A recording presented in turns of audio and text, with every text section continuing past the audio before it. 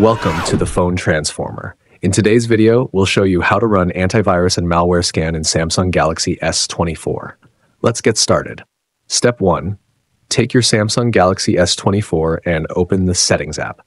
You'll usually find it right on your home screen, but if not, just check the Apps drawer. Step 2.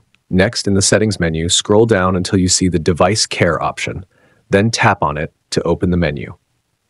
Step 3. Inside Device Care, look for the App Protection option and tap on it. Right now, this feature might be disabled, but don't worry, we'll turn it on. Step 4. Now simply tap on the Turn On option, then click on Scan Phone. Your phone will automatically run an antivirus and malware scan. Just wait a few moments for the process to complete. Step 5. Once it's done, if no threats are found, that's great.